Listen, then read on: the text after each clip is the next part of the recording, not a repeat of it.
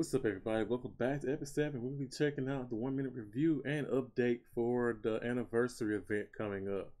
So, guys, on 9 on um 9 2 September the 2nd through 10 28, we're gonna have the Epic Dash event going on.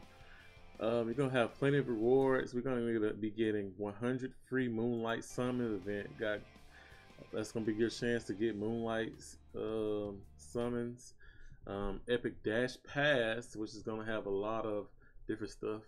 Um, I'm sure that's going to be a paid pass, but I think it's still going to be good. They're going to have a new Rift event coming up.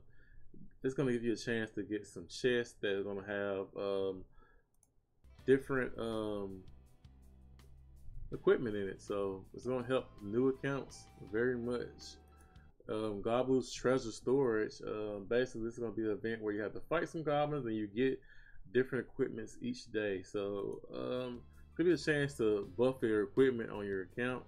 Epic Dash special buff event gonna have free energy and quick battling every day. So um, I wonder if it's saying free quick battling. If so, that would be really really dope. Um, that's gonna help a lot of people out. So if this if it's gonna make logging in every day and doing your stuff pretty easy for that week. Ezra Foundation check in as usual for um, um, anniversaries. 110 Covenant summons. Gonna get exclusive equipment for Spectre Tenebria, so if you don't have her, you need to get her as a new player.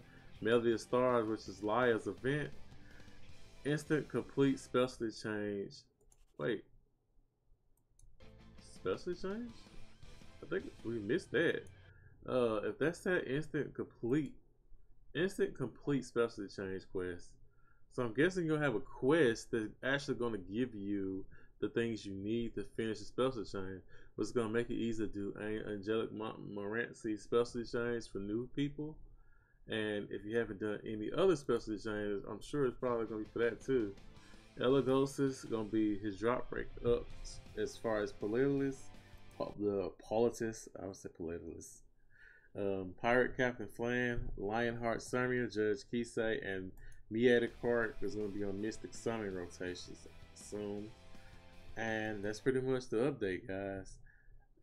And don't forget to like and subscribe if you like the update. And see you in the next video.